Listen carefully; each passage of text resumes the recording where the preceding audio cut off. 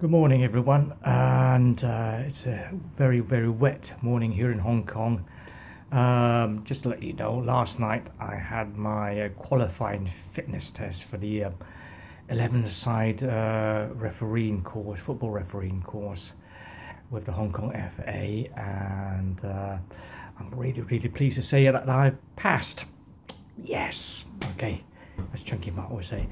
Uh, it was it was pretty wet last night as well, and uh, we had to do um, f- like a 40 meter sprint within 6.8 seconds, which I passed, and then we had to uh, run two kilometers within 14 minutes.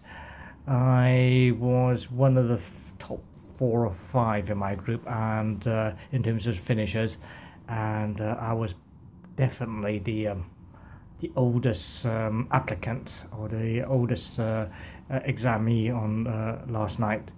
So yeah, pretty pretty pleased myself. Now um, now that's done, I've uh, I've also this morning I've uh, paid off the course fee by bank transfer, and then. Um, and then the next thing I do is attend the first lesson, which will be on the 25th of June which will be a classroom uh, affair, theory class.